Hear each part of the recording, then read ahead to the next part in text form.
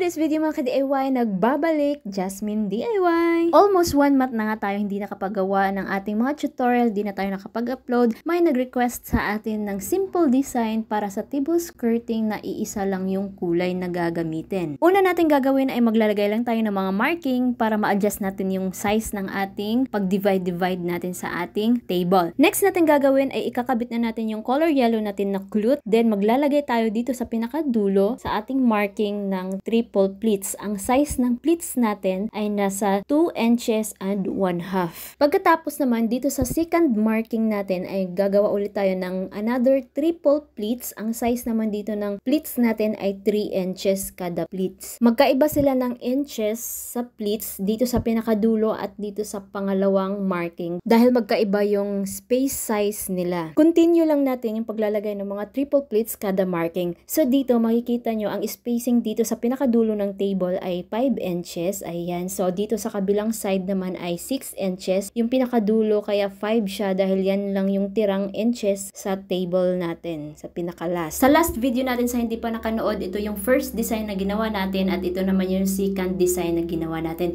So, ngayon, pang third and fourth design naman yung gagawin natin. So, una lang na natin gagawin sa ating triple pleats. Ipipin lang natin yung side to side, yung left side at yung right side. Then, pagsamahin natin natin yung tatlong pleats, mag-measure lang tayo ng mga dalawang dangkal o higit pa, depende sa inyo, din lalagyan natin ng pins. Then yung center pleats natin ay ifo-fold lang natin siya paloob para maging candle design yung center. Ayan. So ifo-fold mo lang siya. So ganyan lang siya kadali. Then dito naman sa baba, pwede yung design natin dito ay yung pa ipipin mo lang yung dulo to dulo. Pwede rin yung ifo-fold ng katulad dito. So dito yung ginawa nating design ay finold lang natin yung left and right na pleats. So, ito na yung magiging result niya. Ayan, napakadali at napakasimpleng gawin at napakalinis at eleganteng tingnan. So, napakadali nyo lang tong gayahin mga ka-DIY. So, ito yung ating pangatlong design sa ating triple pleats. So, pwedeng-pwede rin natin gawin itong pang-apat na design. So, ang unang gagawin lang natin ay pagsamahin lang natin yung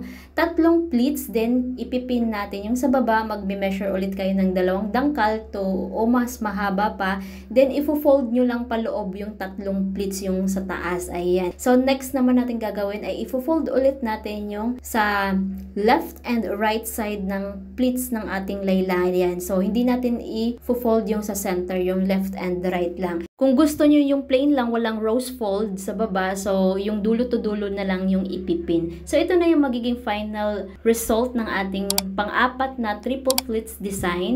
Perfect na perfect siya sa kahit anong okasyon mo siya gawin. Palitan nyo lang yung kulay kung ano yung color motif ng inyong okasyon. Subscribe for more para lagi ka updated. Maraming salamat!